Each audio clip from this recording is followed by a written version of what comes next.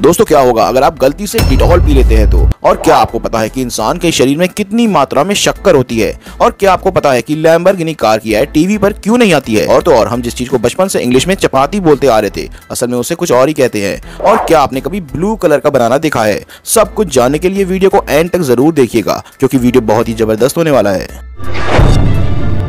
आप सब cold drink पीने के तो शौकीन होंगे, पर क्या होगा, अगर आप गलती से डिटॉल पी लेते हैं तो? दोस्तों, अगर आपने गलती से भी डिटॉल को पी लिया है तो ये बहुत ही खतरनाक साबित हो सकता है, क्योंकि डिटॉल में क्लोरोऑक्सीनॉल होता है, जिसका उपयोग बैक्टीरिया मारने के लिए किया जाता है, और अगर आपने गलती से भी इसे पी लिया तो ये आपके सेंट्रल नर्वस सिस्टम पर अटैक कर देगा, जिससे आप अकेला और डीमोटिवेट महसूस करने लगेंगे।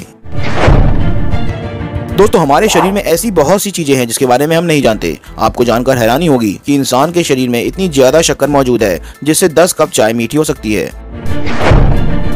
दोस्तों, हम सबके साथ ये अक्सर होता है कि जब हम किसी शब्द को जानते हुए भी याद नहीं कर पाते हैं, ये चीज़ हमें तब तक परेशान करती रहती है जब तक हमें वो शब्द याद ना आ जाए। दोस्तों, ऐसी कंडीशन को लिथोलॉजिका कहते हैं।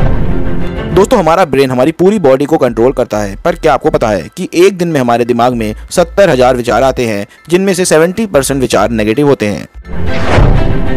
लैम्बोर्गिनी कार की एड आपने कभी भी टीवी पर नहीं देखी होगी। ऐसा इसलिए है क्योंकि इस कंपनी का मानना है कि इस कार को खरीदने की क्षमता उन लोगों में बिल्कुल भी नहीं है, जो अपना समय टीवी देख के खराब करते हैं, और इसीलिए ये कंपनी दुनिया की बेस्ट कंपनी बनी हुई है।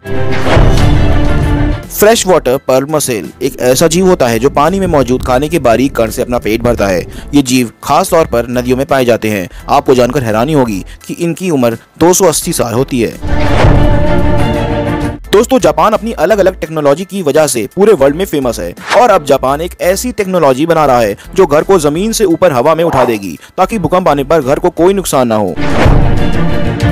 हमें बचपन से यही सिखाया गया है कि इंग्लिश में रोटी को चपाती कहते हैं, लेकिन असल में ये बिल्कुल गलत है, क्योंकि रोटी को इंग्लिश में चपाती नहीं, बल्कि टॉर्टिला बोलते हैं।